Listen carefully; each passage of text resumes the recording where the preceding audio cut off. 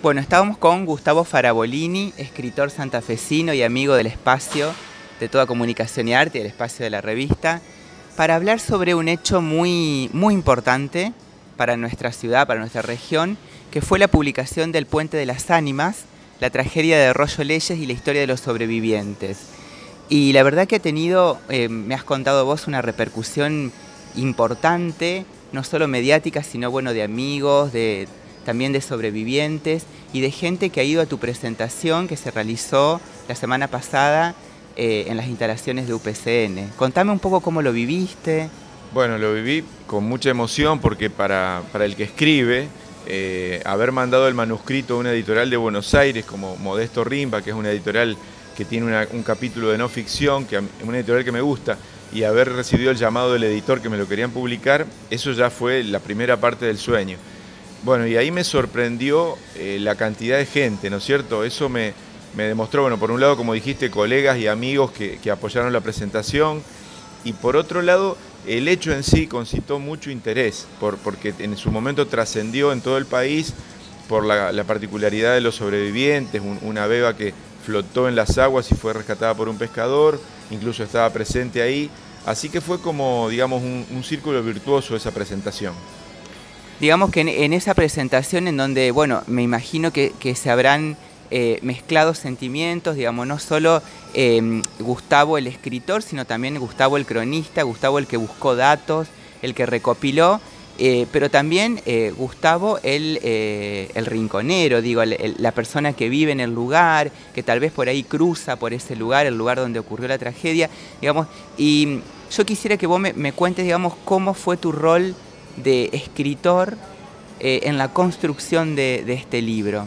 Bien, bien. Está cruzado por, por un lado por las emociones, como vos dijiste, y también como rinconero. Yo, yo coordino talleres de narrativa, eh, no solo en UPCN acá en Santa Fe, sino en Rincón y en Arroyo Leyes. Y voy a comprar pescado a Arroyo Leyes. Cruzo el puente y bajo en una rinconada donde me venden.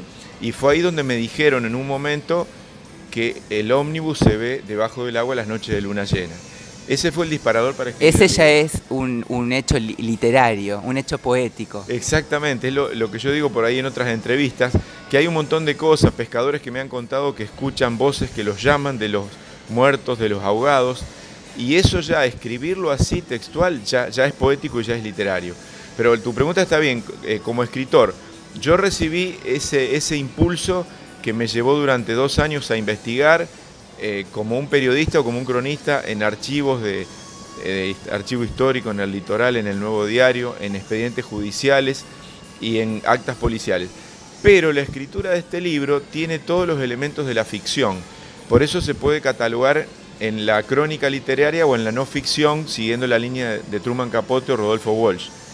Entonces, a mí me gusta escribir ficción. Entonces, es una digamos, un equilibrio difícil, una línea muy delgada entre las dos cosas, pero creo que logré que esto se pueda leer como una novela. Claro, porque la gente, em, me imagino la gente que vivió o la gente que aún recuerda el hecho, digamos, es como muy difícil de desprenderse eh, o de poder desprender eh, o ver el hecho literario, la obra de arte o la ficción en un, en, un, en un hecho real tan contundente. Digo, poder separar el hecho real del hecho narrativo o el hecho literario, perdón, ¿eh? Em, es, un es una tarea muy que, no, no, debe ser sencilla. No, no, por suerte, bueno, yo estudié historia, eso me, me marca una deformación profesional de buscar fuentes ciertas. Vos que sos periodista también, seguramente para escribir ficción tendrás ese mismo problema. En el libro yo no, no contesto todas las preguntas. Por ejemplo, mucha gente me pregunta cuál fue la causa del accidente yo dejo planteada tres hipótesis y no me interesa responderlas, ¿no es cierto? Incluso, bueno, yo, haciendo un guiño a Rodolfo Walsh, arranco el libro imaginándome un día en la vida de cada sobreviviente, ese 20 de noviembre del 70. Qué impresionante. Claro, ahí, ahí meto la ficción. Yo digo, tal persona debe haber hecho tal cosa. ¿Por qué? Porque el lector también quiso imaginar en su momento qué vivió esa gente. Lo mismo hago cuando en la escena de, de la inmersión del ómnibus con la gente ahogándose o sobreviviendo, yo eso lo escribo de la pura imaginación con algunos datos que tengo de la entrevista que le hizo la revista Así en su momento a un sobreviviente o otro sobreviviente que yo pesqué y me contó lo que él sintió. pero eso yo lo extrapolo. Y después, bueno, lo que tiene el libro también una especie de, road movie, ¿no es cierto? Como una película de ruta, porque yo después me meto al final como personaje, el narrador, con un perfil muy bajo, pero personaje al fin, y hago la búsqueda de los seis sobrevivientes y el, lector me acompaña en las puertas que se abren o las que se cierran. Entonces ahí también está un poco la tarea del escritor, la, decisión del recorte y de la voz del escritor. Claro, y también se me ocurre a mí poder eh, enganchar a ese lector, que es un lector activo, un lector que se conmueve, un lector, digamos, que interpela, eh, para poder juntos construir la trama de, literaria. Claro, claro. Yo, en mis talleres, una de las cosas que transmito siempre es, eh, por un lado, la, teoría del iceberg, digamos, que hay que contar algo de, de lo que ocurre y el resto el, lector lo tiene que imaginar porque hay que considerar al lector más inteligente que uno y que va a poder completar. En ese sentido, yo lo invito a, viajar conmigo o lo invito a terminar de cerrar la historia, ¿no es cierto? Incluso este libro yo sé que lo va a leer mucha gente que no es lectora, porque hay mucha gente que lo va a comprar por el hecho en sí. Entonces me parece que eh, está escrito como para que, digamos, por un lado se entienda, pero por otro, eh, cada lector distinto acompañe y, digamos, abre esa botella al mar que es lanzar un libro y lo interprete como, como quiera.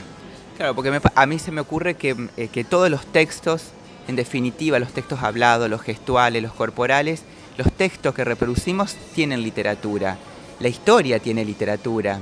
Entonces me parece que vos podés conjugar perfectamente tu tarea de escritor literario con esto que vos me decís de, bueno, tu, tu, oficio de profesor de historia, eh, de narrador, de buscar fuentes y poder armar, digamos, una ficción que tenga que ver eh, con, un hecho puntual, pero también con lo que nos, con la santafesinidad, con, con esta cuestión eh, que trasciende y que bueno, que va más allá y que se puede transmitir a través de, metáforas, de comparaciones, de, imágenes. Sí, sí, hay muchas imágenes. Digamos, siguiendo a, Mario Lebrero, uno de, nuestros popes, digamos, en el taller, el uruguayo, él dice que la literatura son imágenes.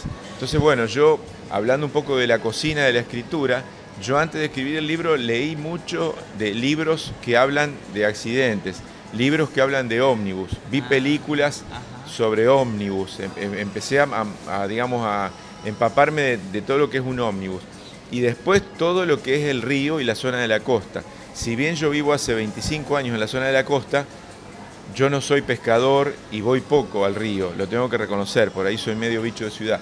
Entonces, bueno, ha pasado... Sos un buen observador.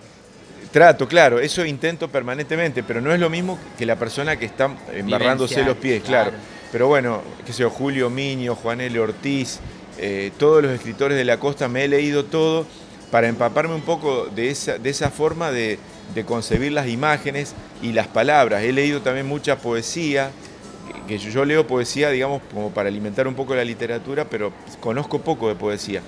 Pero le he leído y he tomado muchas palabras prestadas de, esos grandes maestros que le han dado al texto, yo esto en realidad lo descubrí en la presentación, porque estuvo Patricia Barrio Nuevo con su grupo acompañando y, pergeniamos, digamos, una especie de, canto coral entre lo que yo leía del libro y ellos hacían como un eco, que el libro tiene mucho de poético. Eso lo, descubrí con esa música de fondo, eh, no lo sabía, bueno, pero salió así.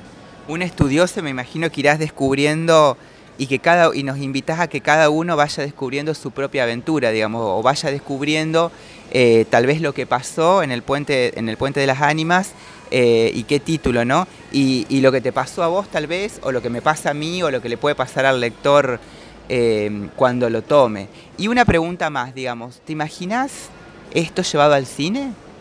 Sí, sí, me lo imagino. Y ya pensándolo con un poco de especulación financiera en estos tiempos difíciles, quizás no reconstruyendo esas escenas drásticas, digamos, del hundimiento, porque sería difícil, pero sí en función de, todas las leyendas que alimentaron este libro, la que dice que se ve el ómnibus debajo del agua, los pescadores que escuchan voces, uno que dice que después de un accidente donde hay ahogados se levanta un viento helado, que fue real ese día, otro dice que donde cayó el ómnibus todavía sigue el mismo remolino hace 50 años.